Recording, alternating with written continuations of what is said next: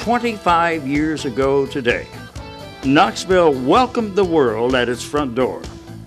One man's idea mushroomed into years of planning and preparation.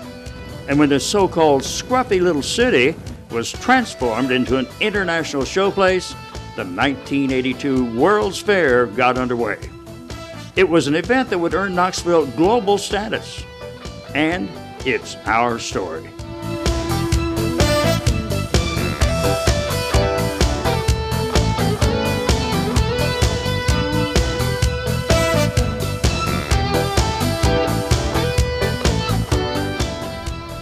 Good evening, I'm Bill Williams.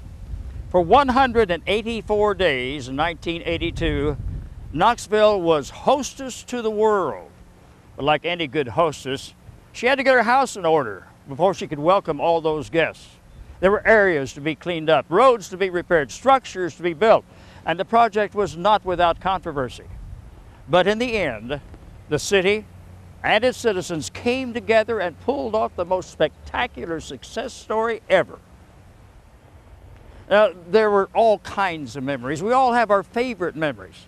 And in the next hour, we'll relive some of those memories and remind you of some you may have forgotten.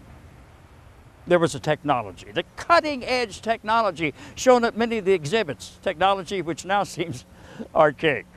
Some of those ideas did progress, many didn't go any further than this fair site. But before we dig into those archives, Let's hear from a man we haven't heard from in years. A man who many say had the most to do with making the 1982 World's Fair here in Knoxville a reality. And that man is Jake Butcher.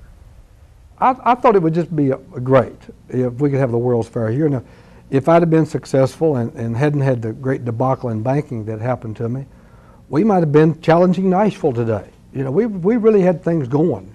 Jake Butcher was the front man with the contacts to get things moving. We'll hear more from him later. But there was also a board of directors, a dream team of political and business heavy hitters who were determined to prove that Knoxville could meet the challenge. May 1st, 1982 was just a wonderful day. It was a beautiful day. President Reagan came, and uh, I remember uh, the headlines in the paper was "Scruffy Little City Does It." the thing that brought Knoxville together was the Wall Street Journal story about the scruffy little city. And uh, you know, it's okay for us to fight among ourselves, but don't let an outsider come in and tell us that we're not not so good. And and I think it was saying, all right, you know, by golly, we're going to do this. It just seemed like it didn't make any difference uh, who you were, what you were. Everybody came together in order to make it happen. So it was just a remarkable achievement for this community, and a lot of people deserve a lot of credit for it. You know, sometimes I've often said my uh, main management tool was ignorance, is that we didn't know we couldn't do it. We didn't, you know, people would say, well, you're doing what, where? And we say, well, uh, and we didn't know enough to know that we couldn't pull this together in Knoxville. Well, the biggest struggle we had to overcome was the, uh, we knew we could do it, but the world perhaps didn't know we could do it. I'm a little bit prejudiced, you understand, but I'd have to have to say it was uh, a tremendous success. That A lot of people really thought, "Hey, we can't do this. Is it worth it?" The people coming to town, they'll they'll you know it'll be a mess. But it really wasn't. It, it came it came off in a remarkably smooth way, and I think in the end.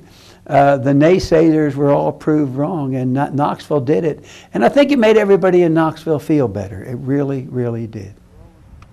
The fair was a marketer's dream come true. Companies and corporations set up exhibits to show off their latest technology. They had a captive audience, tens and tens and tens of thousands of people coming to the fair every day. They were stunned, impressed with what they saw.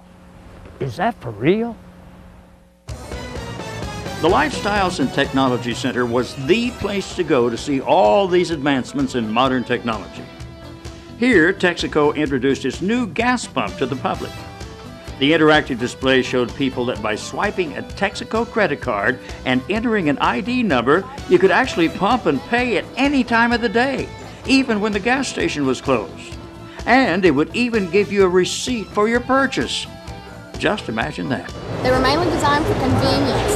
They're very convenient to the customer. They're open 24 hours a day Also, they cut down on theft, things like that. Well, I think they're the thing of the future and it's very interesting to operate. Were they pretty simple to operate? Oh, very much so. All you got to do is just answer the machine. These Texaco pumps are one of the many new innovations. In 1982, this gas pump was the thing of the future. 25 years later, it's just a typical pump. The gas that it's pumping, however, has gone from an average of $1.34 a gallon to twice that 25 years later. Hey, can I look at it? Okay, how about this one? A Lincoln Continental with a built-in mobile phone. Kathy, this is a relatively simple uh, system to operate. You dial your number um, through the uh, electronic instrument panel on the dashboard. It's located here. And uh, you talk through a concealed microphone in the sun visor, and you hear over the car radio speakers. Every 15 to 20 minutes, some lucky person standing in line to enter the Cathedral Light home is chosen to try out this phone system by making a long distance phone call anywhere in the world for three minutes, courtesy of the Ford Motor Company. Hello, David? Yeah. Hey, this is Mike. You ain't never gonna believe where I am. I'm in, check this out, I'm inside a car at the World's Fair. There's about 500 people looking. Just think, in a couple of years, we could all be driving down the highway talking to our sun visors. I'm Kathy Kirk for World's Fair Update. In 1982, a car phone was a novelty. 25 years later, there are laws in some states against talking on a cell phone while driving. Here's one more piece of modern technology that had people talking and pulling out their wallets. Visitors to the 1982 World's Fair took a lot of pictures. There was even a Kodak store on site that would loan you a new disc camera for free if you bought the film.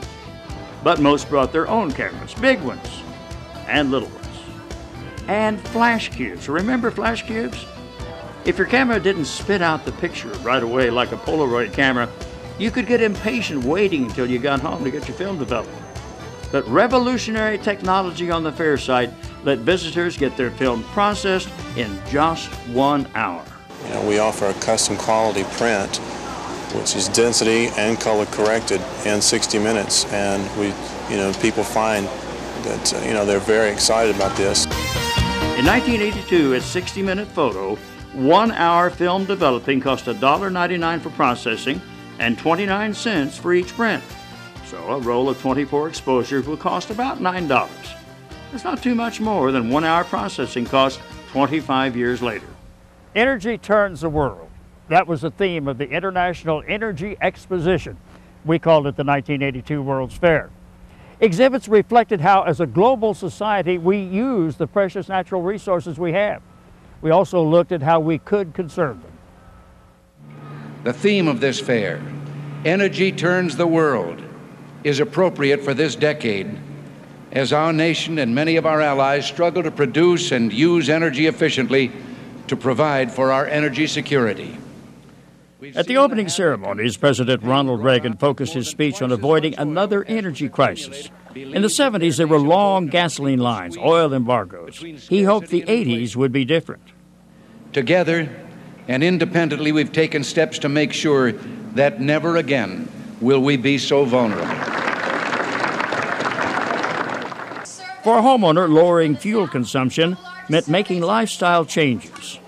At the energy saving house at the World's Fair, homeowners were taught how they could cut back on energy usage by making changes to their heating, cooling, plumbing, and insulation. But there was also alternative housing set up on site for people who wanted to take more drastic measures. Take the Cathedral Light Home, for example. The manufacturer of these geodesic homes says the energy crisis boosted its business. The concern over energy conservation encouraged more people to build a dome home. Wind turbines generate the electrical power, solar energy heats the hot water, and the high curved ceilings allowed the air to circulate.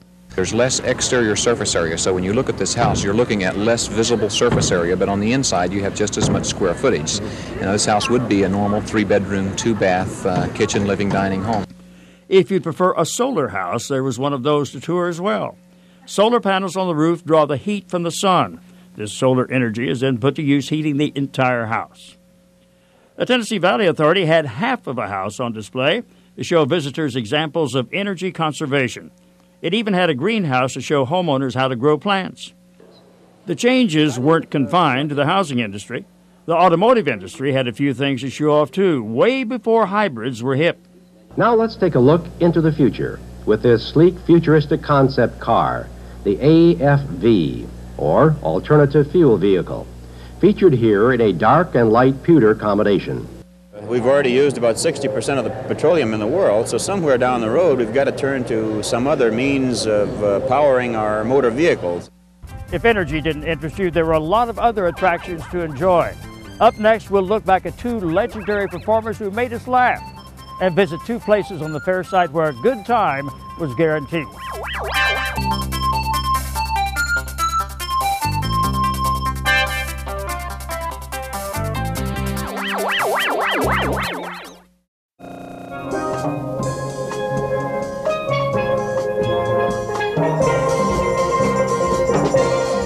Energy was a serious theme for the 1982 World's Fair, but there was plenty of opportunity to lighten the mood. Big name entertainers, legendary ones, stopped in Knoxville to make us laugh. Uh, how are you? I'm happy to see all of you. I don't need. Red Skelton met with reporters and won them over with his humility and humor. He talked about his love of both performing and painting. Like I did some flowers once, and somebody said, "Where'd you get the Van Gogh?" I said, "It's not a Van Gogh. I painted that." That's a Van Gogh. No, I painted it. Well, boy, you're another Van Gogh. Well, you get to believe this, see? so finally, my wife says to me one day, she says, What's this nutty stuff about you being Van Gogh? You're Red Skelton. I said, Ah, yeah, it's a little nutty. So I felt so ashamed. I went down to the hospital and had them sew my ear back on. on his 74th birthday, comedian Bob Hope sat down for an interview with Channel 10's Rob Braun. First of all, happy birthday. Thank you very much. Your staff said if I didn't say you were 52 that they wouldn't get their checks. I've got them brainwashed, haven't I? I've been brainwashing them for years. The natural question is how do you stay looking so young and healthy? Well, I, I know you're trying to butter me up a little just for doing this interview with you. but uh, I feel fine. I play a lot of golf and enjoy myself. And, but I black out when I tie my shoes in the morning. Bill Cosby, well on his way to becoming legendary himself, also entertained audiences. Every day I have the blues. Now here's a look at just a few of the famous faces who brought their acts to the World's Fair. Especially you ladies, who are the main offenders.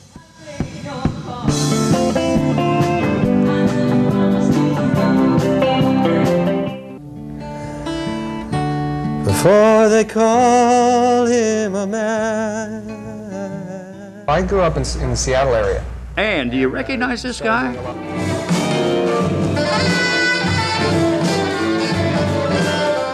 How about now? It's best-selling saxophone player Kenny G. He performed at the fair as a member of the Jeff Lorber Fusion.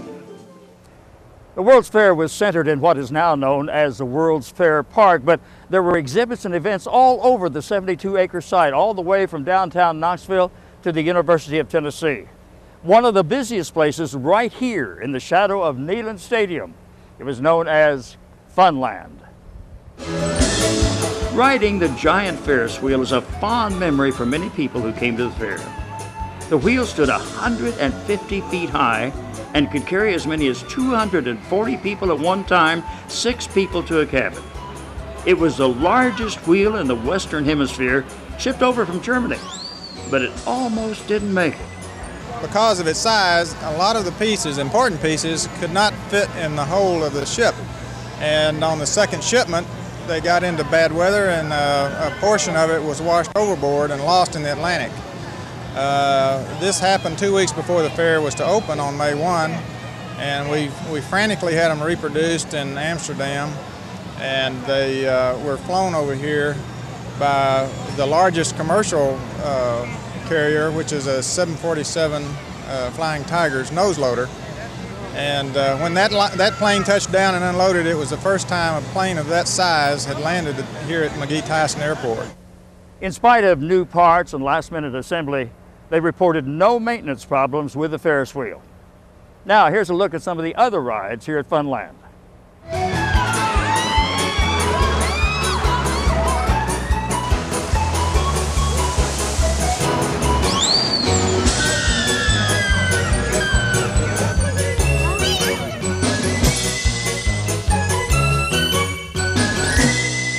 Wow, wow, wow.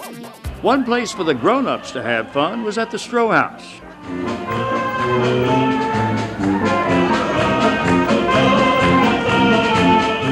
Housed inside the empty old Knoxville Iron Foundry, the German beer garden served German food, plays German music, and had plenty of German beer on tap. It drew a crowd every night and brought them to their feet. It's unbelievable. We sat there we were amazed the first night. We saw people, 70s and 80s, dance down the aisle. We could not believe that we could see these people get carried away as much. We didn't know how people reacted here to this type of thing. When people got up and started dancing on the tables, I tell you the truth, it, it made me feel so good. I said, my God, look at the people enjoy themselves. And Tom, we just sat back and looked at each other and shook our heads. We couldn't believe what was going on. You might not have known many people when you walked into the Stroh House, but by the time you left, you probably made quite a few new friends. The Stroh House has taken on new life after the 1982 World's Fair. The building is now simply called the Foundry. It's rented out for civic meetings, banquets, and special occasions. The planning and preparation it took to pull off the World's Fair required unprecedented cooperation among civic leaders. When we come back, we'll look at the many changes we had to make before we could welcome the world. And we'll hear more from Jake Butcher about his role in the event.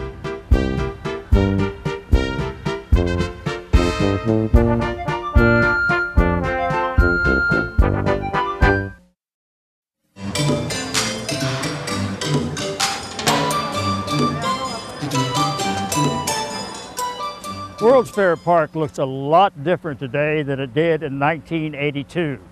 For years after the fair, the court of flags, the waters of the world remained. But a few years ago, it changed. A new convention center is now the centerpiece of the property. It's surrounded by a lake and fountains, and this beautiful lawn used to be the waters of the world. But if you go back 30 years, this was a blighted area, ripe for improvement. It took a community effort to get past the controversy all the way to completion.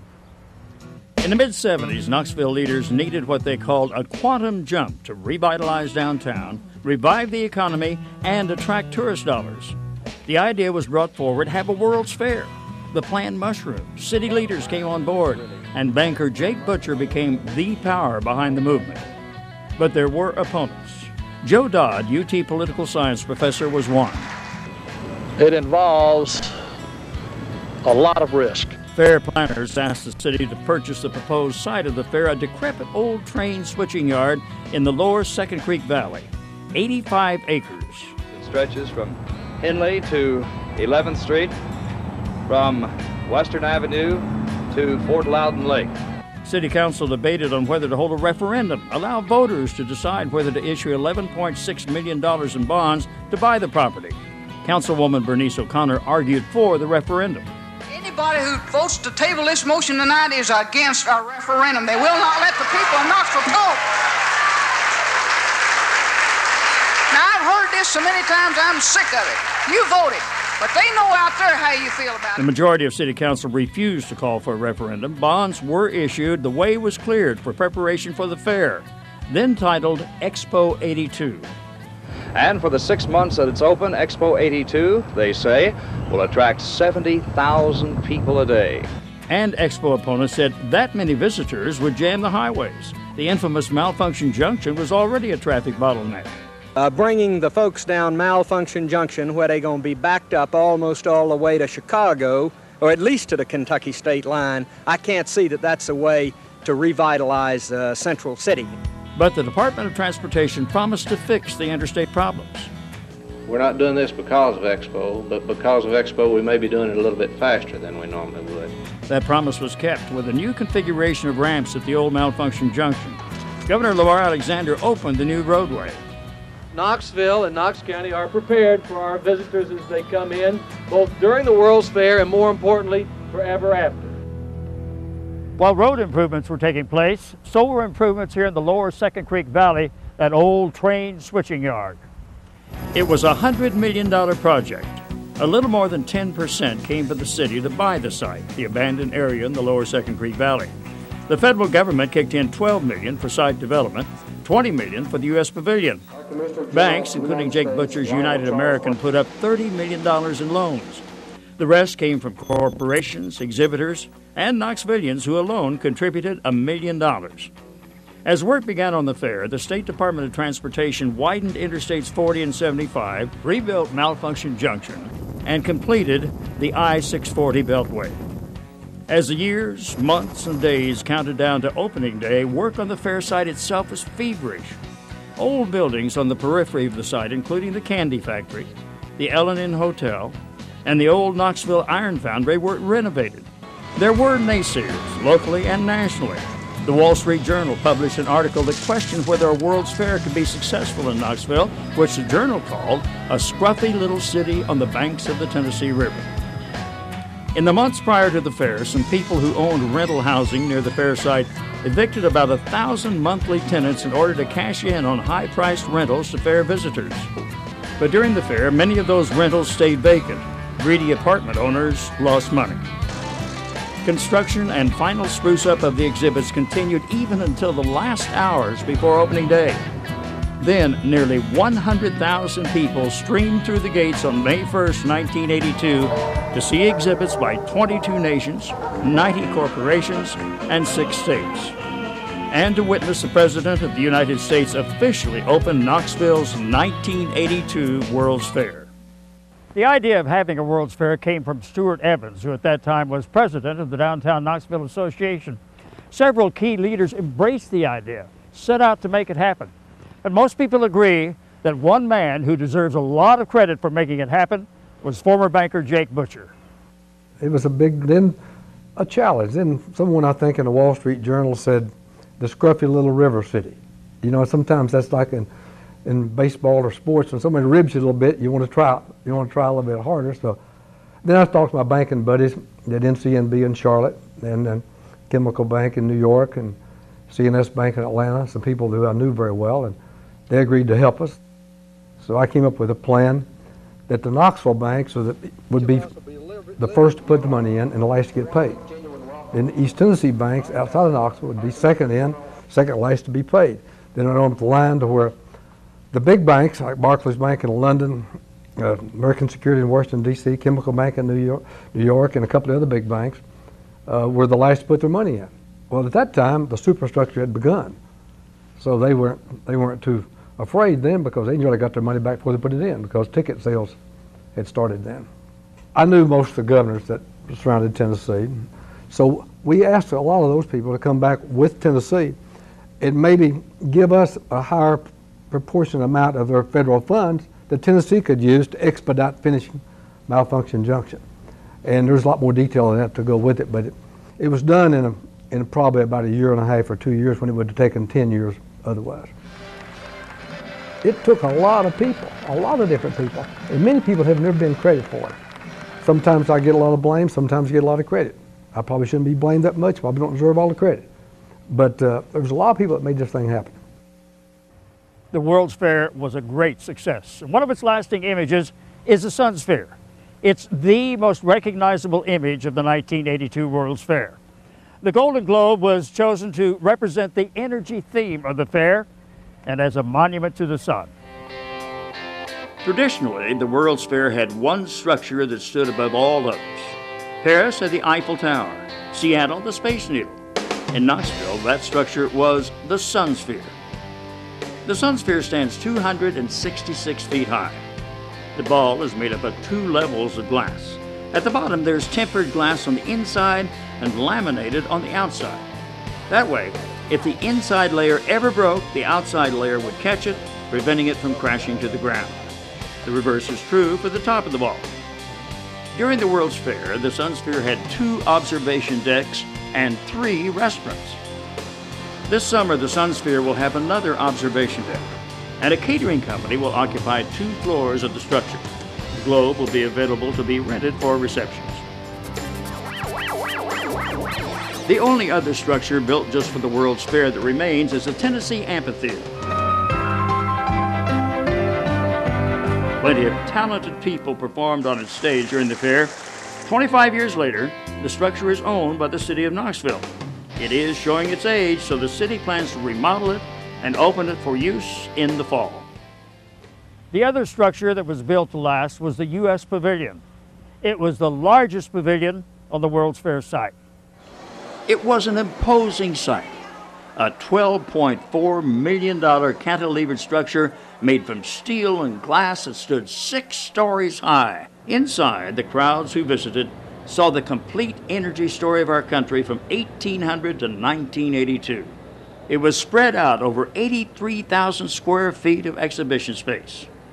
When the World's Fair ended, the U.S. Pavilion stood for a while, but later the city decided the land was worth more than the building, and on April 6, 1991, the walls came tumbling down.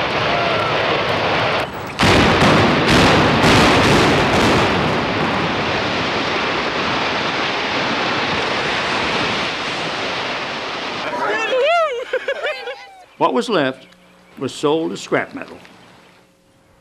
22 nations participated in the World's Fair, and visitors got to learn a little bit about each one of them. When we come back, we'll learn about their customs and culture through music and dance.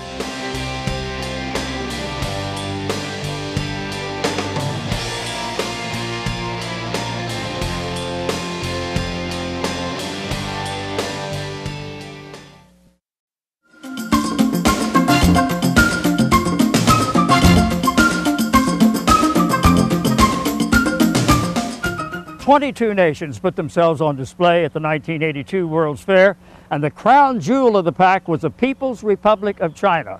It was the first time China had ever taken part in a World's Fair.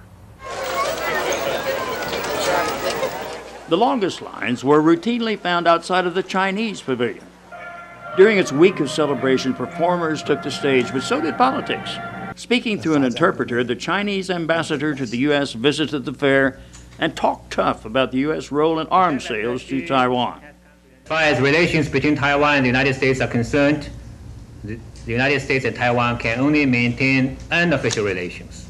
But if the United States uh, insists on selling weapons to Taiwan, then relations uh, between China and the United States uh, will be affected. And, uh, or worse still, there will be retrogression. On a much lighter note, the talk near the Hungarian pavilion was about the giant Rubik's Cubes found outside and inside. The man who invented the color panel puzzle is Hungarian professor Erno Rubik. Go. He came to the fair to oversee a Rubik's Cube competition. The winner, a 14 year old from Pittsburgh who solved the puzzle in just under 50 seconds. During Japan's National Week at the fair, Japanese dignitaries came to the fair site traditional Japanese dancers performed, and the fair received a rare visit from Japan's Kabuki Theater.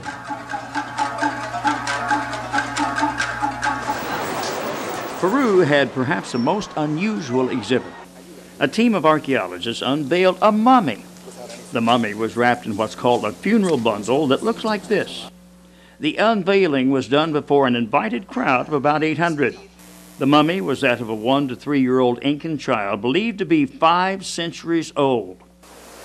Maybe there's something else in the bag that will UT's forensic anthropologist Dr. William Bass participated in the unveiling. Saudi Arabia's announcement caught everyone by surprise.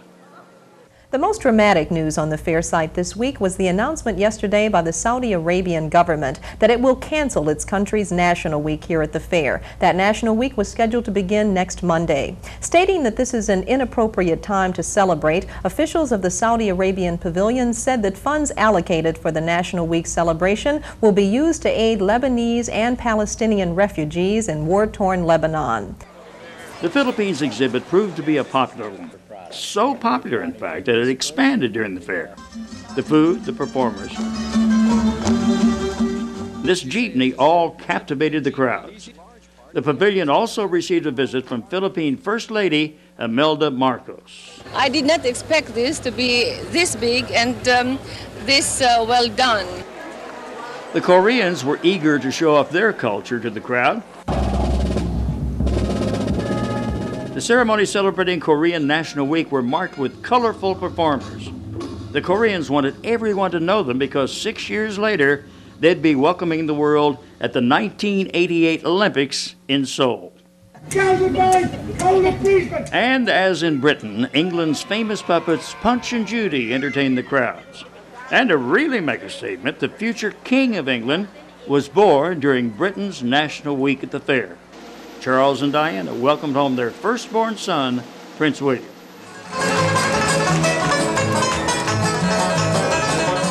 Music echoed throughout the fair site. There were marching bands, orchestras, solo artists, all with their own unique sounds, all warmly received by the audiences.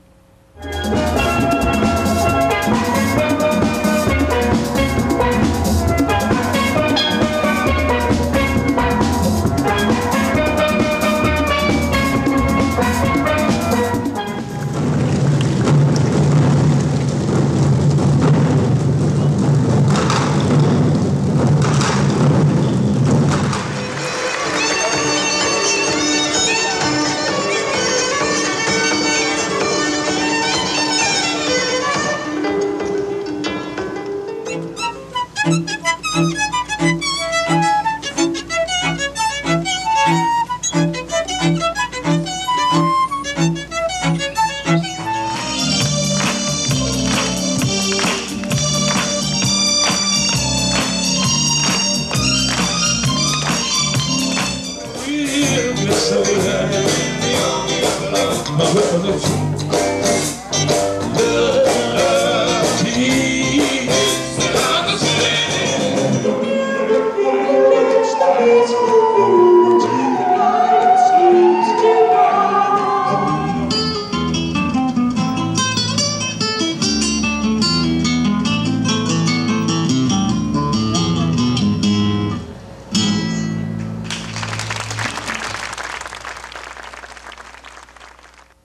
learned a lot about our culture's differences by the traditional dances that were performed here at the fair. Here's a sampling from five continents.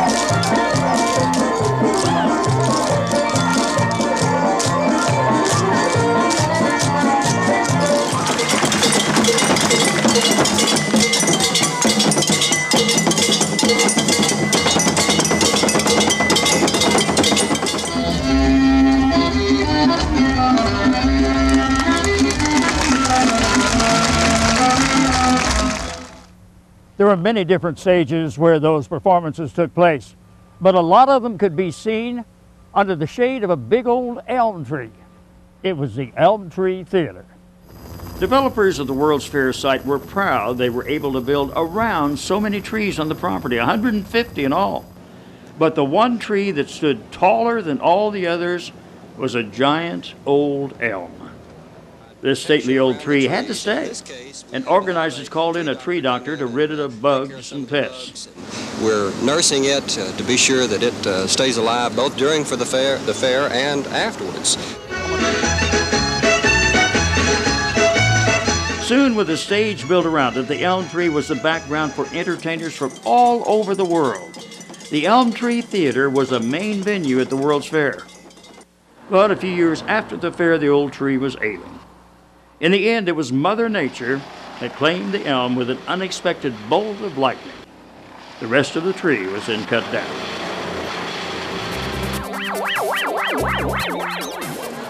The lines to the exhibits could be long, but that didn't mean those waiting were missing out on the entertainment.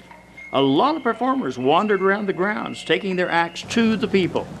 There was a lot of stuff going on off-site as well.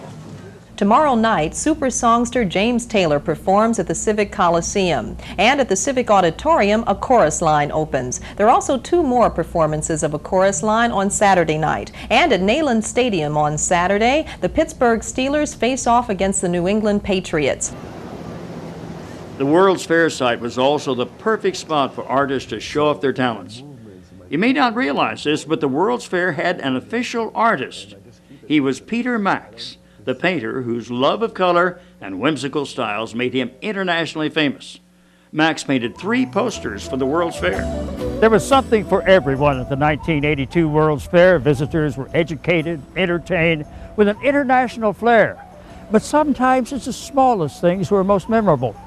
When we come back, we'll look at the little things that made a big impression.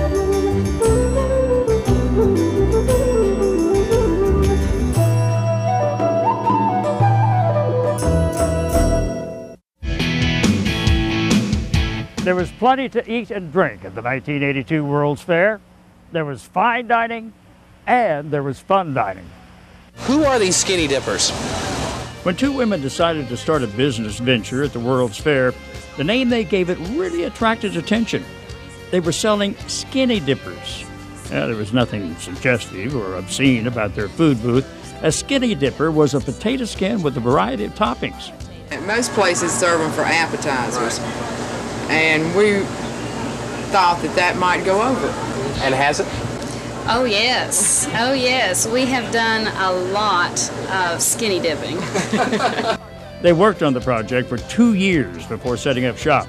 The skinny dippers sold well, business was good, but the women admit it was hard work. So if you're looking On another part of the fair site, two men decided to do the same thing. They called their snack petroleum bellies. Eh, that name didn't sound too appetizing, so they shortened it to Petros. It's just going to be a temporary little thing, and we're going to have a nice summer job in the fall, take a few months off from school, and I was going to go to law school, and Dale was going to go back and get his MBA, and still have chili under our nails after all these years. One thing that many people got to taste for free was at the Dairyman's exhibit. Small glasses of real cow's milk were handed out to promote milk that was processed differently. It was called UHT milk, and it could be kept on a shelf, unrefrigerated, unopened for three months. The combination of the processing and packaging made it possible. The reviews were mixed. But a different dairy product was much better received. For one day, Ice Cream Day, 12,000 people got free ice cream cups. The giveaway proved to be a cool and sweet way to beat the heat. In 1982, E.T. was in all movie theaters. Pac-Man was in all the arcades. At the World's Fair, Heinz pickle pins were a popular souvenir, sometimes hard to come by. Here are a couple more things that might bring back fond memories of the fair. Heinz found a unique way to promote its ketchup. This giant ketchup bottle could be found greeting guests all over the fair site. It delighted all the children and was a popular photo op for many visitors. Pictures taken at another site on the fairgrounds became part of a popular souvenir. The Kodak booth was the first stop. The stamps were collected in souvenir passports. Each visit to a new pavilion earned you a stamp. It became a contest among many people to see how many stamps they could collect. If you'd rather visit another era rather than another culture, this was a place to capture it all on film. Gene Patterson and Rob Braun did. Come on. It's heads, Rob. Ah, come on. You have to do it. Maybe two out of three? Forget it. A deal's a deal, right? You're, oh, all right. You have to do it. All Let's right. Go. Come on. Let's go. These old time American costumes and scenic backdrops had people lining up to relive the past. Some pictures, however, were more attractive than others. As you walked past the European Community Pavilion, you had to notice a giant sculpture out front. It stood 35 feet high, and kids loved climbing on it. It was designed by a British artist and was based on a computer printout of a sunburst. and he's translated the sunburst into these ceramic tiles in these various colours to present the radiation and the heat of the sun. The artist was so particular about the color of tiles, he had them specially fired in Europe and shipped from there. Craftsmen representing North Carolina furniture makers built one of the biggest things on display. This giant bed, built by seven craftsmen, weighed 4,000 pounds. How big is this thing? Well, the bed itself is 17 feet by 6 inches wide, 21 feet by 6 inches long, and 11 feet 11 inches high. The giant bed was covered by a giant quilt. 96 women made the quilt. Each 18 inch square was hand sewn. In all, 1 million hand sewn stitches held the giant masterpiece together. There have been those people who say there's not much sports going on here at the World's Fair so far, but if you look around, there's sports all over the place. In our travels today, we found your typical bench warmers and various race car drivers. In basketball, we saw a low post and then, of course, a double low post. We saw a pit stop and a first round draft choice. In baseball, you would call this next play a strikeout.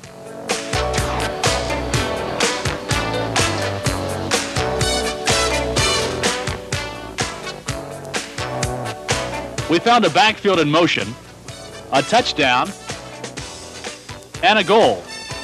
We saw a double dribble violation and a double foul. Then we saw a charging foul.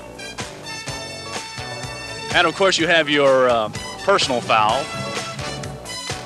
A la Darrell Waltrip, we saw a pole sitter. So as you can see, there's plenty of sports going on here at the World's Fair each and every day. This is Bob Kesling, Action 10 Sports. And that's what you call a grand slam. Up next, the 1982 World's Fair was considered an instrument for peace. For six months, it brought nations together. It also brought individuals together. When we come back, we'll have a couple of love stories.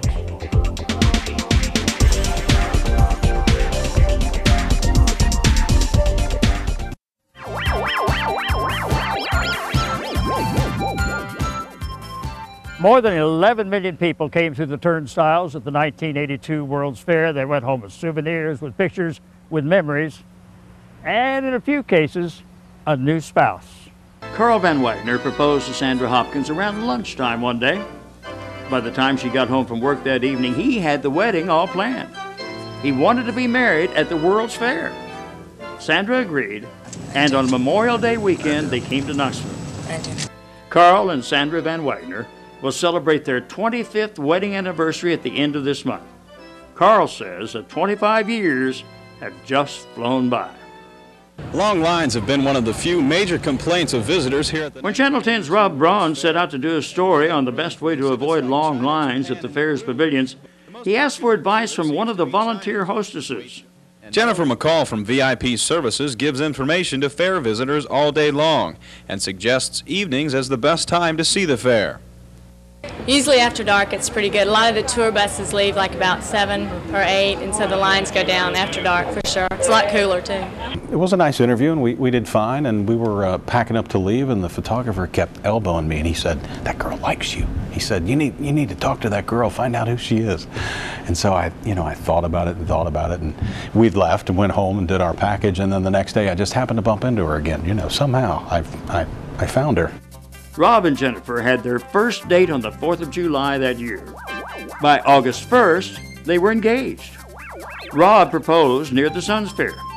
They married six months later, toasting each other with a memento of the fair. 25 years later, they have two children and will celebrate their 25th anniversary next year. A silver anniversary is a wonderful time to reflect. We remember back to a community that worked together, overcame obstacles, achieved the impossible. Civic leaders with imagination and vision who took on a challenge, transformed a city.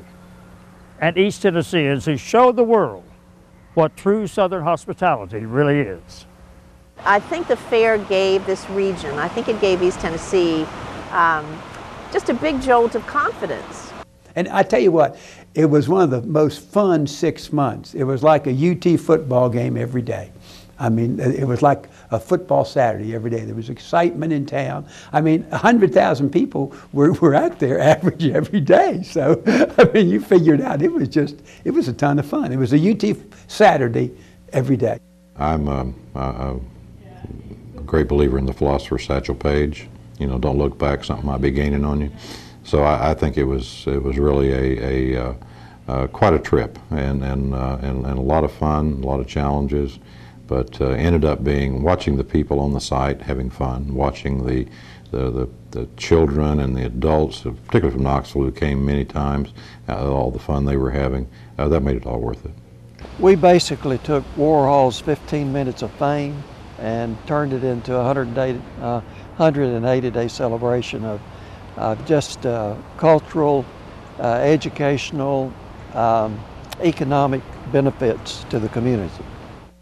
I absolutely loved every minute of the fair, even though it was a whole lot of hard work, um, principally because it was all live programming. Um, we had so much fun because we were all learning. We were young, we were cub reporters, um, and we were doing at minimum five five minute live cut ins a day. And we just had to do the entertainment side of the fair. And that's what we did. We told folks what was going on at the World's Fair that day, and it was fun. There was not a day we went to work when we didn't just have a ball. But I think for those who, who did come and who did enjoy it, I think it really left a, a kind of permanent mark. And I think 25 years later, people, you know, I think still have good feelings about it. What'd you like best? You know, I hadn't even thought of that. I really hadn't. I, I think the the pageantry and also being a former Marine, having the Commandant of the Marine down here, the Marine Corps band, and uh, and you know, it's just uh, very very emotional and very patriotic. History is the ultimate judge of whether you fail or succeed, and the history has judged us kindly. My most significant memories of the 1982 World's Fair were all the broadcasts that we did live from here at the World's Fair site. I'll never forget May 1st, 1982. Bob Braun from Cincinnati, Margie Eisen, Edie Ellis, and I hosted a five hour marathon live broadcast, which included all the opening ceremonies. A marvelous time. For those six months, we did every newscast here at the fair. There was a special World's Fair programming, the five minute programs, the wrap ups, the 30 minute Welcome World program at the end of the week. It was all such great fun. It was a once in a lifetime opportunity.